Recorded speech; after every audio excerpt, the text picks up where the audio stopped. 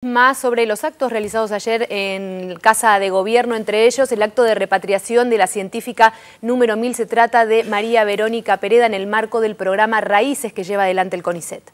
Era científica repatriada número 1000. María Verónica es licenciada en Sociología, magíster en Sociología Económica de la Universidad Nacional de San Martín, doctora en Sociología, Cuenta con más de 15 publicaciones y participó en importantes congresos internacionales. Dictó cursos y seminarios en universidades de Argentina y Estados Unidos.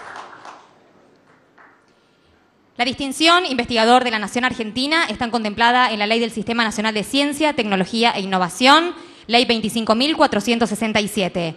La institución, gestionada por la Secretaría de Planeamiento y Políticas del Ministerio de Ciencia, Tecnología e Innovación Productiva de la Nación, reconoce la labor de los científicos y tecnólogos argentinos. Argentina supo ser pionera en los temas de ciencia y tecnología. Cinco premios Nobel, tres en ciencias duras. No hay otro país en toda Latinoamérica con semejante distinción. Sin embargo, en algún momento se interrumpió este funcionamiento.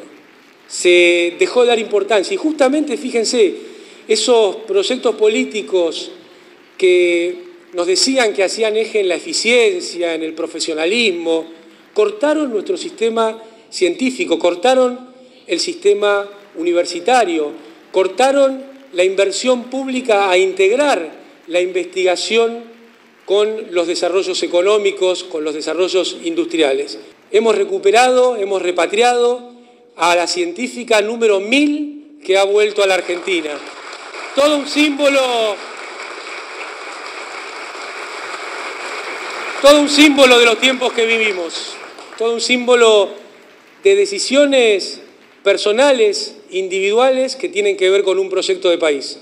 Porque así como eran decisiones personales, individuales, cuando este país no daba un horizonte, que miles y miles de compatriotas se iban, bueno, nos llena de orgullo que decisiones individuales de esas personas entiendan que en Argentina hay un proyecto colectivo que incluye a los 40 millones y en eso no vamos a aflojar ni un solo día. Así que muchas gracias por compartir este momento. Fuerza Cristina, fuerza Argentina, vamos todos juntos.